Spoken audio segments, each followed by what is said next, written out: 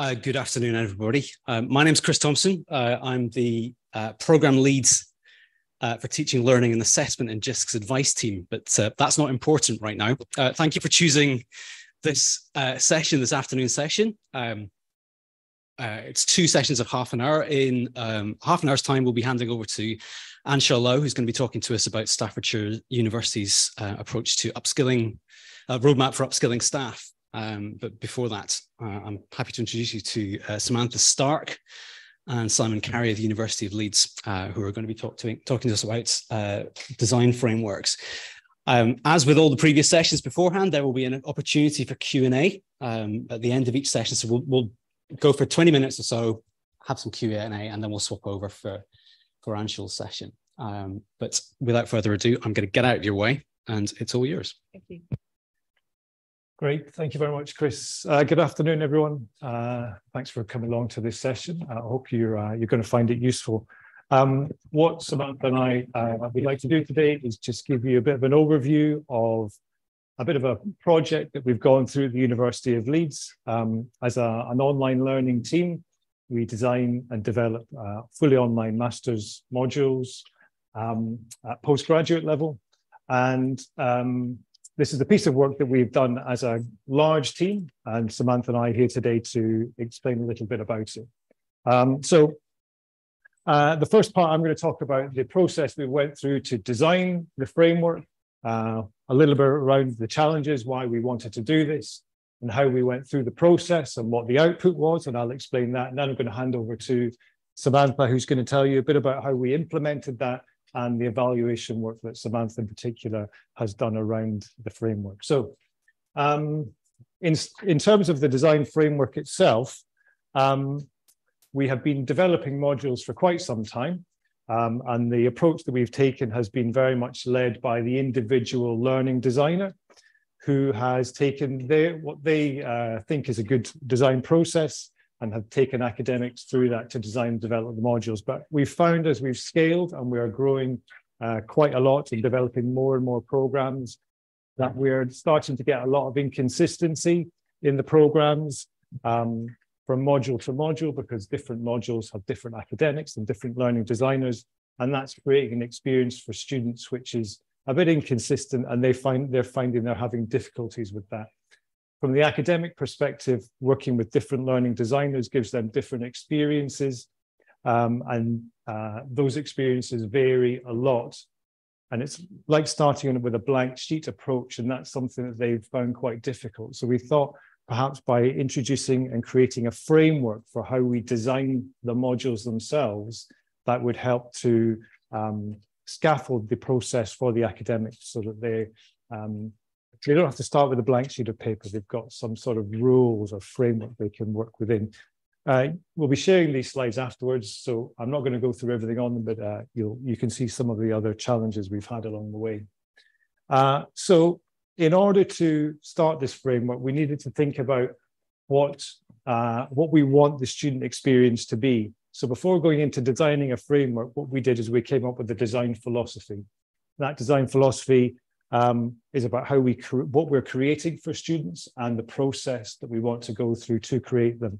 So you can see we want to create learner-centered experience, uh, active learning, um, and compelling learning journeys, and also very importantly, part of the process of creating master's modules is that the academics have some resources that they can reuse afterwards. So that reuse is a really important part of what we what we do. And the approach we want to be collaborative uh, we want to innovate and we want to use people's time uh, as effectively as possible because, um, as all of you know, academics can be very, very busy people. So we want to make the process as useful for them as possible. So once we had that design philosophy in place, then we went through a design process. And that's where I brought together the team of learning designers um, who brought together their ideas of what they thought a module framework should include, some of the pedagogical ideas behind it, the theories, brought those together in a workshop setting, and then we created a framework. And I'm going to explain that to you in a moment or two.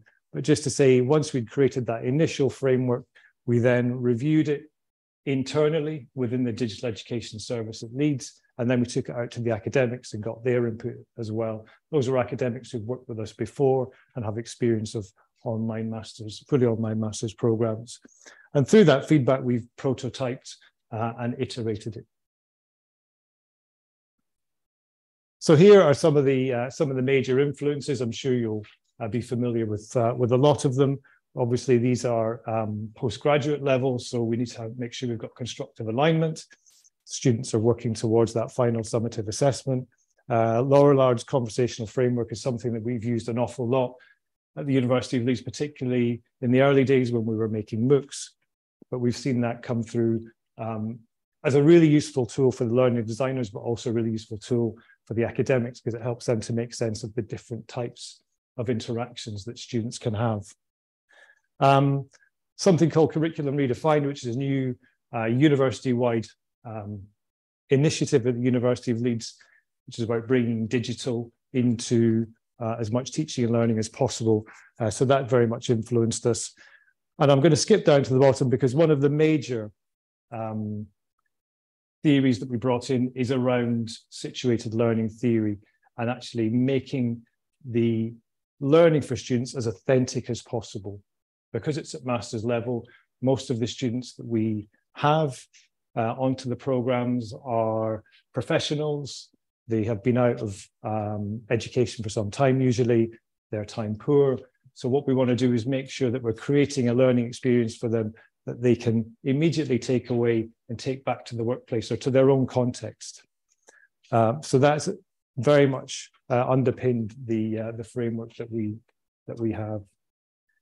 So if I can uh, just give you a quick overview, a bit of context about how the framework works. The uh, modules that we have within programs take place over an eight week period. So they are very condensed. Uh, that's 150 hours potentially of learning in eight weeks.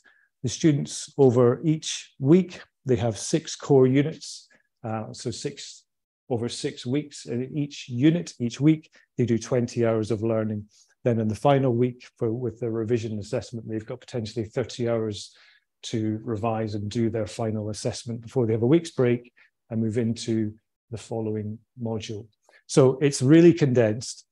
Um, and each, as I say, each week is 20 hours. So how we've broken that 20 hours down is we've got two 10 hour blocks, as it were. This is what we, uh, how we like the academics to think about it. We've got the 10 hour block that they work very much with the digital education service to create.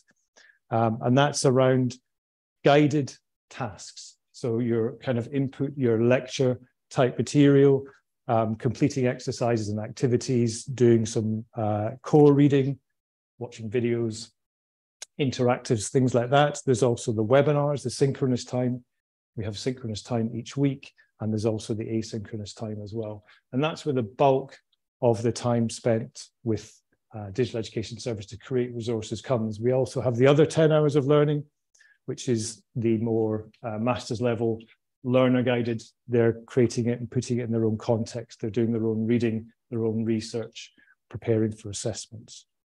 So I just want to take a moment to focus on the, the tutor guided learning, that 10 hours. This is where the framework really comes into play. So we've taken that 10 hours and we've broken it down into three kind of core sections.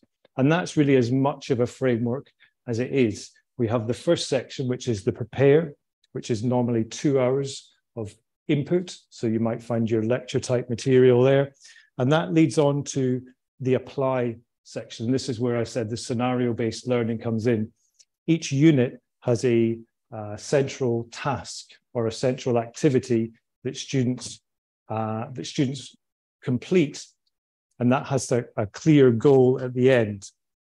Students um, work through that task using the information, the learning, the knowledge that they've acquired in the prepare section, and then they move on to the reflection at the end, which is typically where they'll find their synchronous time with the academic um, where they can do some reflection. And in between that, there's time for, thank you, uh, time for their discussion, either before the task or after the task, depending what, uh, what makes the most sense. So that's the, that's the framework. We implemented this about a year ago, and I'm going to pass over to Samantha. She's going to tell you a bit more about that.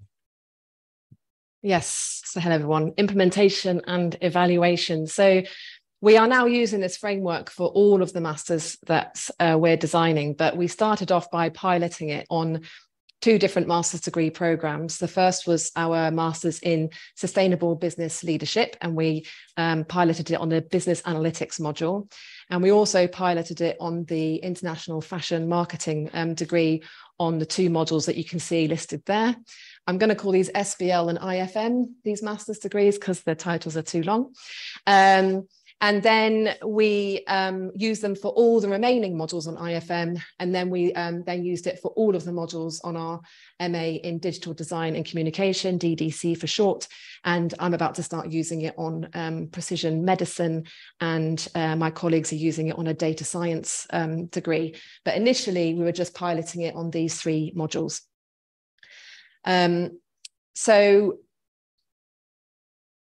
as part of the pilot, I applied for funding um, to do research, and I got funding from the Leeds Institute of Teaching Excellence, or LITE for short. And they funded me for one year, one day a week um, from September last year. And the purpose of the research was to find out is the framework actually working? Um, you know, we think it's great, but it might not be achieving what we want it to achieve. Um, does it need to be approved, improved in any way? Um, and just to get that feedback, basically. Um, so I started uh, in September last year. So I started with my ethics application, and then data collection was a bit delayed um, due to module delays. Um, data analysis started in July. So I'm still in coming to the end of data collection, um, analyzing data and disseminating all at the same time.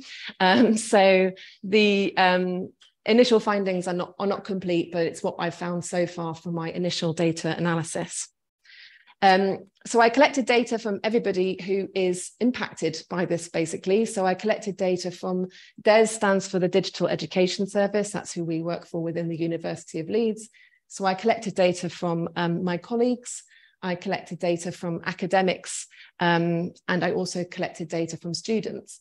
And importantly, I've been collecting data about from about modules that do use the framework and also that don't use the framework so that I can kind of compare what people's experiences are and see if there's any trends um, in relation to either framework or non-framework modules. So I did two focus groups with their staff. I've done one-to-one interviews with academics, so seven so far. And I've done an online anonymous questionnaire with students um, unfortunately, I've only had six responses so far because they are time poor, unfortunately, but at least I do have some insight from them. Um, so I'm going to go through now what my initial findings are, and there are positives and negatives um, from, from all sides, basically. So in relation to um, DES staff, um, you'll see there are some points in bold, and those are the consistent themes that appear throughout all the data. So DES staff, academics, and potentially students as well. So that clear structure is um, clearly a big positive in relation to the framework. And uh, my colleagues have also found that having that framework helps their discussions with academics because it gives them a platform upon which they can start talking about online pedagogy because it has there is that framework there rather than having the kind of blank sheet approach. So that helps um, in that respect. Um, it prevents um, too high a volume of materials being created and that was one of the big reasons that we created the framework in the first place because we were just drowning under the um, amount of materials we had to um, deal with um, the application to real life scenarios, so learning is more meaningful, um, and they generally prefer framework to non-framework. There's a lot of negative though. um, so it, there's difficulties with, with um, working with academics because often they're looking at the phases, the prepare, the apply, the reflect, as three distinct phases that are isolated rather than culminating in uh, one learning experience.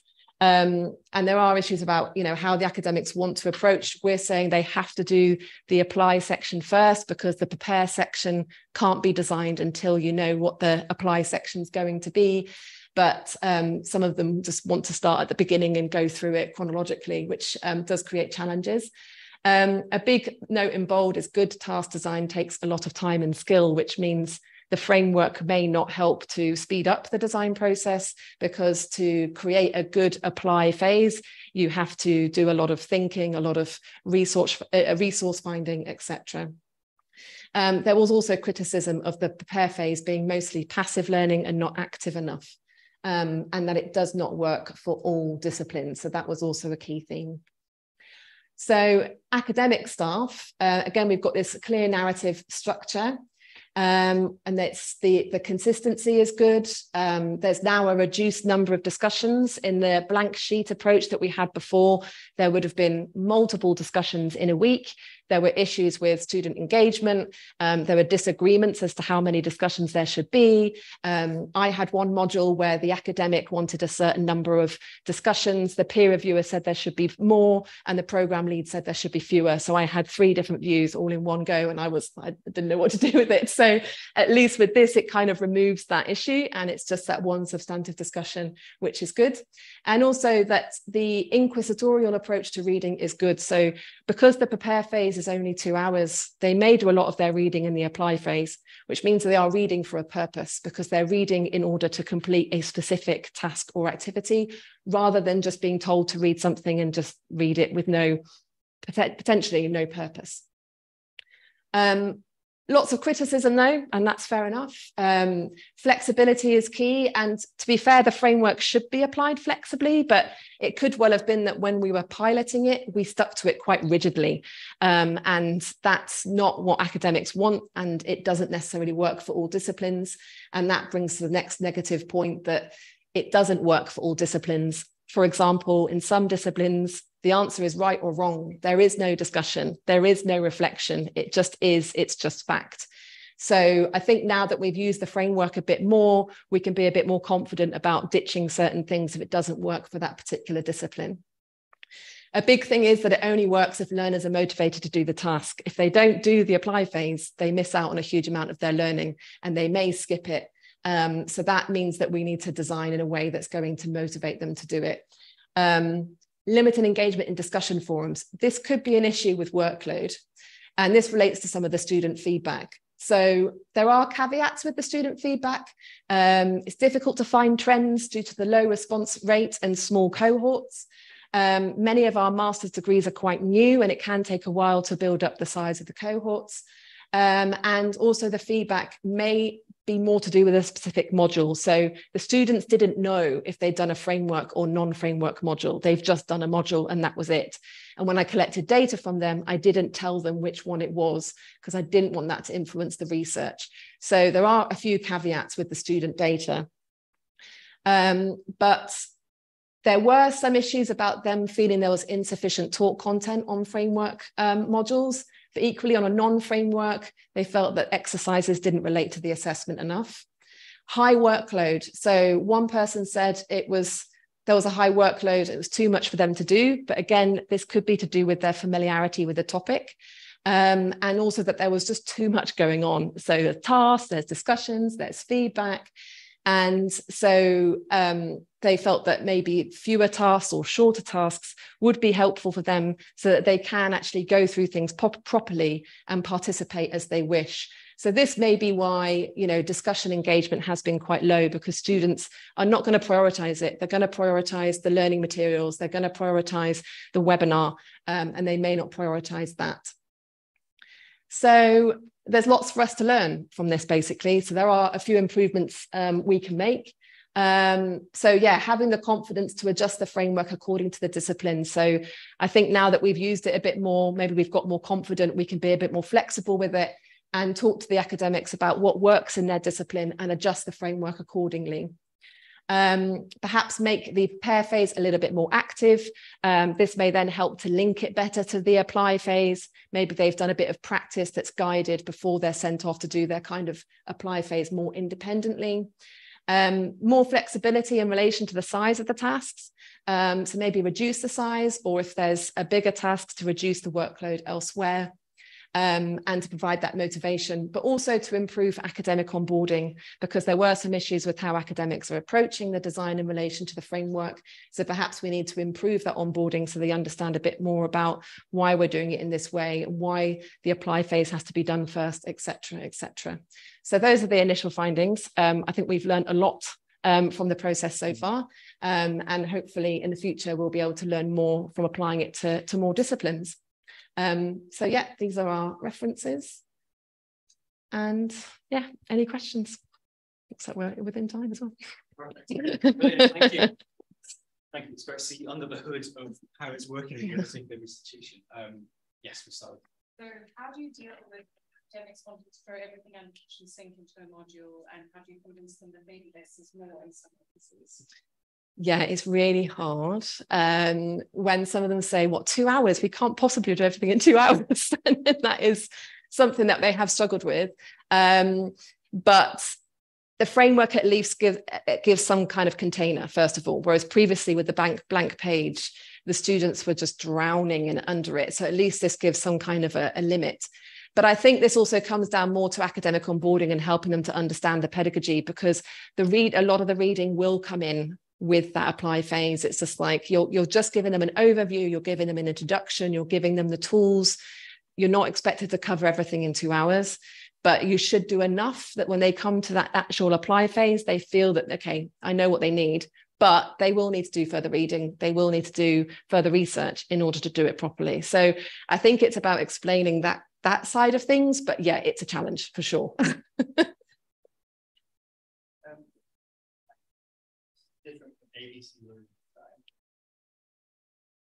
Uh, I'm not entirely sure. Yeah. When what, you, what, what, do you, what do you think? I, I don't know. I don't know. I mean, I didn't. I didn't think ABC was a was an actual uh, framework to design within like a certain number of hours. It can be. It can be. It's used that way. Okay. Um, that's how certainly we use it at class with my new line tester. We're breaking learning into different types, not the same learning types, right? Mm. But um, that's why I was curious how might it relate or how it's different. Yeah, I'll have to have a look. I'll have a look Not into to that. say that it's worse, but to clarify when I go back, I like taking this back, how it's different. Yeah. yeah. I mean, the, the, the, process isn't necessarily, you know, we're not introducing any groundbreaking, we know, we know that. It's more about how we've adapted it to online, how we're adapting it to different disciplines, and the results of the research into it as to how it's being received. But we're not trying to like introduce anything like absolutely new. Yeah. Um, before I come to you, uh, you had your hand up as well. Yeah, just a quick comment as someone who was involved in the genesis of the ABC. Uh, yeah, it, it was ABC was never intended to be cover the full design process, but it's it works very well as a, the initial quick fire uh, rough prototyping of uh, module structure or course structure. But then um, you obviously have to uh, get involved in other methods, uh, but you can still take the learning types forward. And this is, uh, if I understand correctly, quite big influence in your overall framework anyway to make learning active. Yeah, yeah. I mean, it's, it, that's something that the the learning designers use with the with the academics. They're always talking about the type of learning and trying to mix that up and making the academics aware of um, basically not just acquire and lots of other types, which is where the apply phase really comes in. It's the the the task is all, often to produce something. Uh, yes, I mean, really comment actually.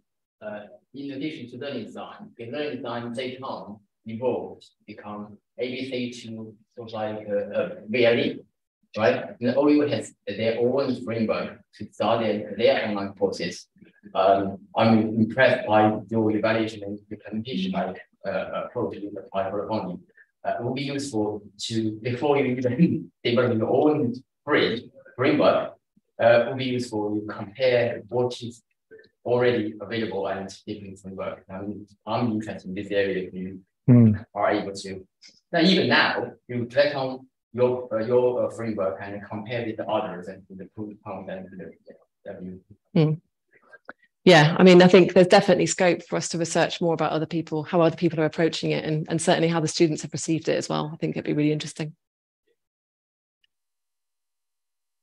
Yes got a question and somebody else Um, did you find out, because you said you're still analyzing the data, that these differences between the disciplines, can you give us a sense of uh, science not like this and uh, humanities in general or like that or vice versa? Yeah, so I think it, it's um, for so from the pilot modules, business analytics, it was like we don't have anything to discuss. We don't have anything to reflect on. Either your code is right or your code is wrong. That is it. So for them, it, it, the structure really worked because that's how they would do it face to face. So the academic was like, yeah, it was fine. I could adapt to it because it worked. You know, you give them some prep work to do, and then they actually do the coding and they do that kind of thing. And then they kind of have a look at it afterwards. But he said the reflect really came when you've done your code and then you talk to somebody else about your code and you think, okay, well, how did this work? But there's no real reflection really. Whereas in more humanities based or design based subjects where there's lots of you know there's lots of differing opinions there's different cultural influences stuff like that there's a lot more to discuss and reflect upon so those are the examples that we have so far for my precision medicine uh, masters that I'm about to start designing, yeah, we're probably not going to bother with any of like the reflection and the discussion because I can tell it's just not part of pedagogy. And I think that's really what it's it's whether or not there are grey areas, whether or not there are, are, moral issues where people can get engaged with those sorts of reflections and, and discussions. And it's those parts of the framework really that are going to vary depending on the discipline, I think. I just wonder, we, we have a structure, and what the university we have a structure, people in certain areas, so you want to have a track. Oh yeah, that'd be great. Yeah, thanks. Any other questions? We have, we have I have one. It's a bit more philosophical than uh, these ones, but uh, were you in for the, the keynote this morning from Marie? Yeah, yeah. She was alluding to um, some of the political tensions about online learning that she's experienced in Canada. There's a there's a bit of a narrative going on at the moment about the second class nature of online the online learning experience. And I just kind of wondered what your take on that was, whether you feel that that narrative has any impact on the discussions that you have at the university lead or the way you build the framework? Uh, I think it uh, it really varies who you're who you're talking to. Yeah. So um, you know, some I don't want to make a broad generalizations, but it depends who you talk to. Some some colleagues that we work with are absolutely on board with this. Um, you can take it to them and they can see the value straight away. Um, others are more, well, this is the way I do it. Um, and you just want to take it and just put it online.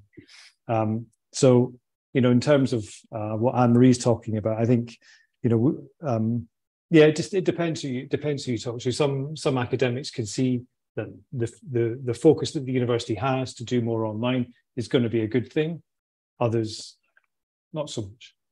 And does it affect the, the students on the master's courses as well? They have does that does that come across all in your research? Not yet. Yeah, it hasn't yet. I think it's. I think for for the students, this is the only way they're going to be able to study because they've got so many other commitments. I wasn't in the keynote this morning because I was very delayed on my drive down, so I'm kind of just guessing. Yeah, I'll have a look. Yeah. any, any point? It's just an observation, really. That might be a reflection of how I misunderstood what I'm saying. But you, you're saying in some subject areas that the scope for reflection and discussion is limited. I'm very surprised at that because even if you're talking about neurosurgery, right, there are points that you need to discuss. And surely the point of discussion is not opinions, it's absorption of what you need to learn. Do, you see what I mean? So I've done, yeah. some, I've done some pretty black and white. I mean, I've done engineering, right? Um, going to argue, you know, which covers what's fit or whatever, right? But it, it, helps to say, oh, here's a case study and here's a reflection on this. And here's, I'm surprised that you get any in that area. I think it's more to do with the fact that the after they've done an apply phase and they've done something, there's something to discuss, right? They're talking about what they've done, and there is that space for it within the apply phase. They do the task, and then there's like the sharing of your outcome. So they have to share their outcome with their colleagues and potentially with their tutor so they can get feedback and they can discuss that and then they can reflect on their work. It's more about the specific, okay, now let's discuss something specific that may help you prepare for the task. It may help to reflect on it. It's more those sort of additional discussions and reflections that we've had kind of resistance to in those sorts of subjects. But when it's to do with the actual apply phase, then they're up for it and there's more engagement. So I did this, this reflection has just helped me understand. Excellent. Lots of brilliant. Uh, can we show our appreciation for